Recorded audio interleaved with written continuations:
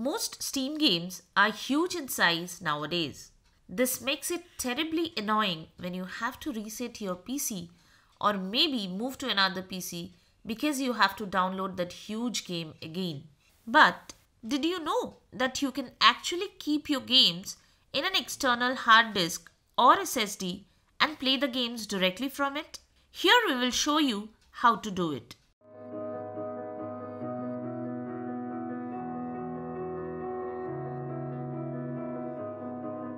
Hey, you are watching Silicophilic, where we help you solve tech issues.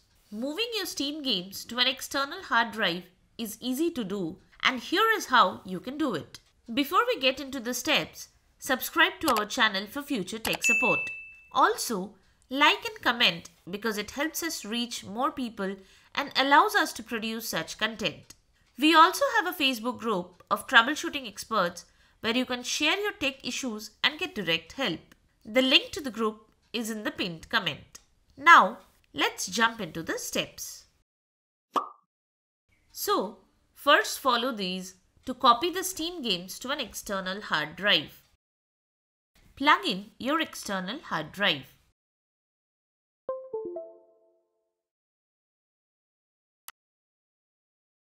Open My Computer and then open the drive with the Steam games installed.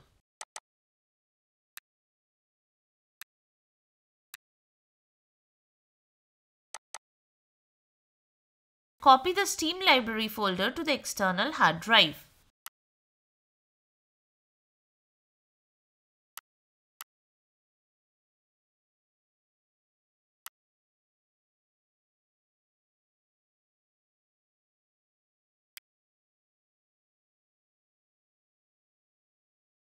Now, unplug the hard drive and move to the PC you want to run the games on. Make sure Steam is installed in that PC and signed in with your own account.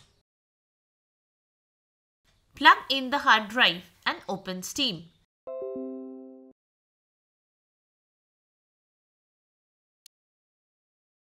Click on the Steam option in the top left corner and select Settings.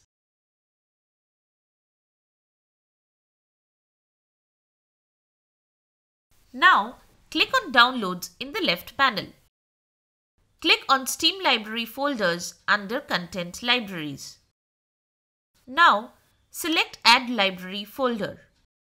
Here, you will have to click on the drop-down menu and select the drive letter of the external hard drive with the games. Now, navigate to the location of Steam Library where you copied to earlier. Select the Steam Library folder and click on Select. This will add the external drive as the installation folder for Steam.